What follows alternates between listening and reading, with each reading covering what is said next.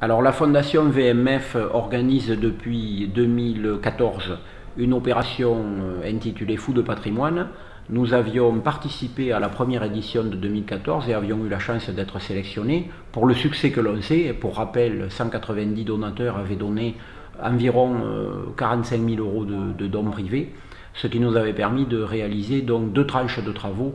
euh, conséquent à la vieille église pour une valeur totale de 150 000 euros, puisque effectivement ces 45 000 euros de dons nous avaient permis de monter des dossiers de subvention et d'aller chercher derrière donc 110 000 euros de subvention. Donc nous venons de faire la visite euh, de cette église de Cocumont sur laquelle je travaille depuis maintenant 2013, euh, donc ça fait déjà quelques années. Nous avions commencé par des études de diagnostic, des projets de restauration. Et euh, grâce à l'engagement euh, de la mairie, euh, du lancement donc, de ce financement participatif, de l'aide aussi des, des collectivités, de l'État, nous avons pu engager des premiers travaux, d'abord de première urgence sur l'abside à la fois à l'intérieur et à l'extérieur, et maintenant nous engageons des travaux un peu plus conséquents euh, pour commencer la restauration de cet édifice qui mérite maintenant euh, tous nos soins. À nouveau en 2018, VMF nous a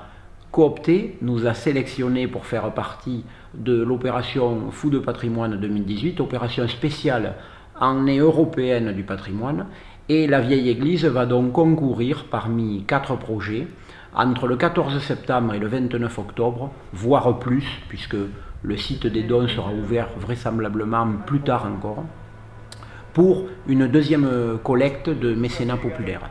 Nous fondons beaucoup d'espoir sur cette deuxième collecte afin de mener à bien une troisième tranche de travaux,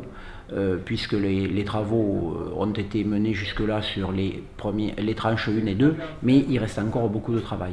Bien entendu, tous les donateurs seront les bienvenus, de la plus petite à la plus rondelette somme. Il faut savoir que pour ceux qui sont éligibles à l'impôt sur le revenu, euh, les sommes versées sont déductibles à 66%